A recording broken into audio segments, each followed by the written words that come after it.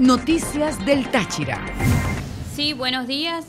Desde aquí, desde la sede de Protección Civil, les damos la gran bienvenida y les damos el despliegue que vamos a iniciar a partir de este día, lunes 15 de agosto, en conmemoración a la Virgen de la Consolación. Este día vamos a iniciar a partir de las 5 de la mañana, donde tendremos un talento humano comprometido de 120 funcionarios, los cuales convergen desde 90 funcionarios nuestros y no, 30 voluntarios, los cuales son de las agrupaciones voluntarias que vienen trabajando con nosotros. Seguimos trabajando de manera mancomunada con las instituciones de la gobernación, las instituciones voluntarias, las cuales participarán en lo largo del recorrido que iniciará a partir de las 5 de la mañana, como les venía diciendo, y tenemos los puntos neurálgicos, los cuales estarán las 12 rutas que hemos establecido de recorrido y asistencia, siempre y cuando, como, como lo venimos haciendo a través del gobernador mayor Mayor José Gregorio Bielma Mora en lo que es la prevención de los ciudadanos. Tenemos seis puntos médicos, los cuales estarán en la Escuela Técnica Industrial, intersección de la autopista Antonio José de Sucre y Avenida Libertador,